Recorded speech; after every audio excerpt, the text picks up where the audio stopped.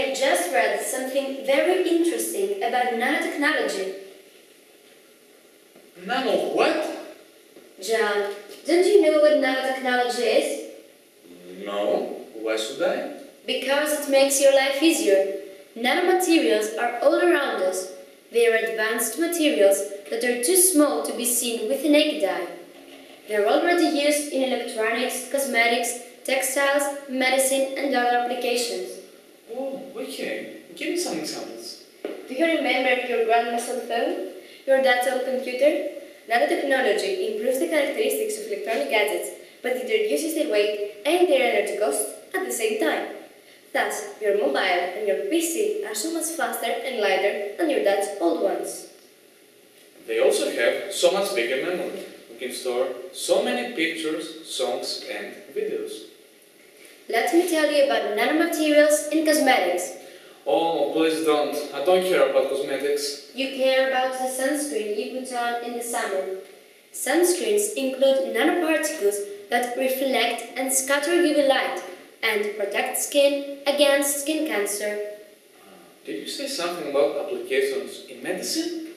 Nanocarriers are used in medicine in order to deliver the drug to specific parts of our body. This is especially important in treating cancer since the drugs there are very toxic and you don't want them going around the bloodstream. What about textiles?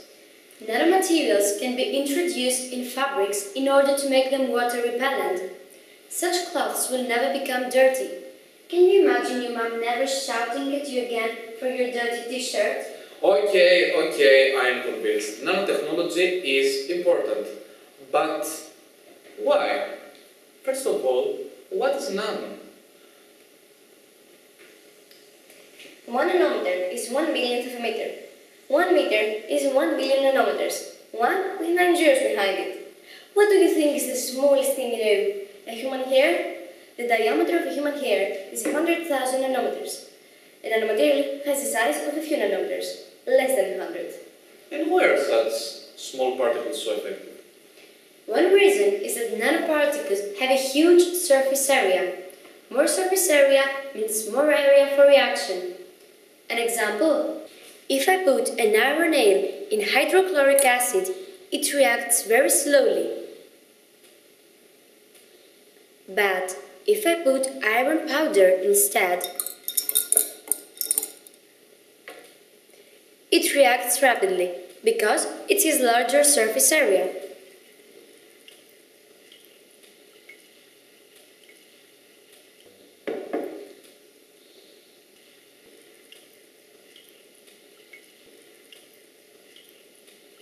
Should we try to get more information from someone who works with this kind of stuff?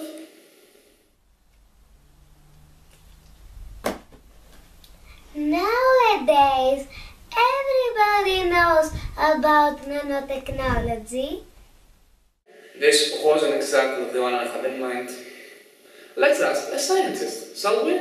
Let's ask Professor Spiros Anastasiadis. He works at Forth. Professor Anastasiadis, what is nanotechnology? What makes nanomaterials so special?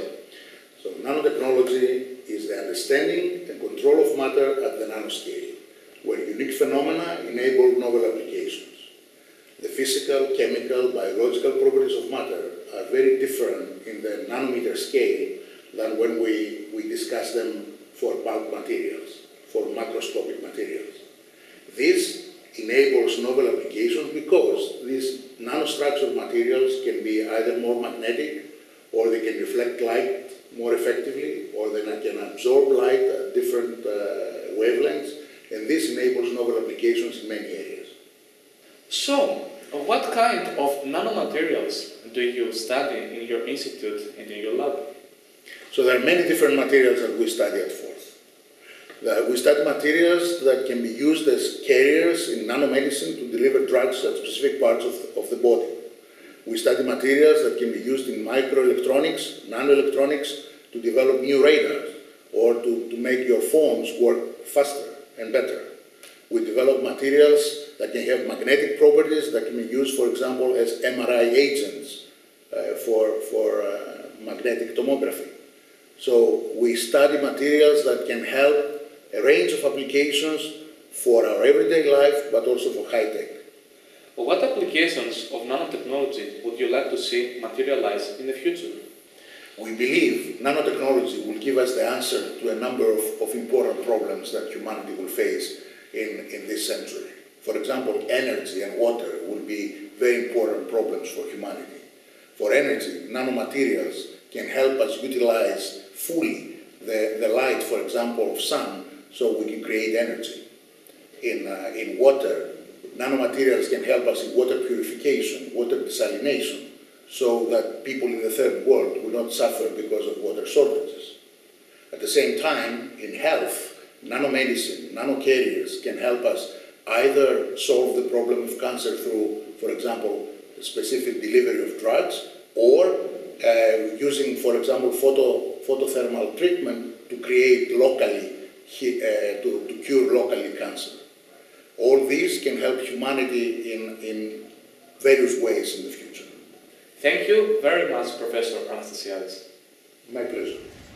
To sum up, Nanotechnology provides us with products with desirable properties such as waterproof surfaces, socks that don't stink, hygienic cover, And devices for everything. smaller and faster computers and electronic gadgets Lighter.